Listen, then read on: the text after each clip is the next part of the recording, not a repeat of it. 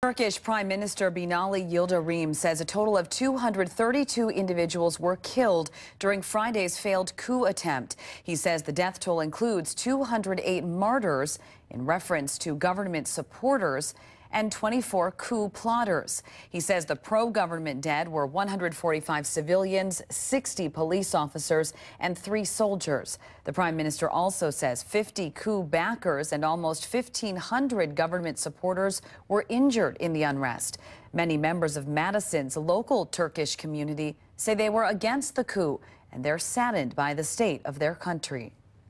I'm hoping, this is my hope, that given the democratic history of Turkey, this unfortunate, unsuccessful, gladly unsuccessful event will turn out to be something to unite uh, Turkey.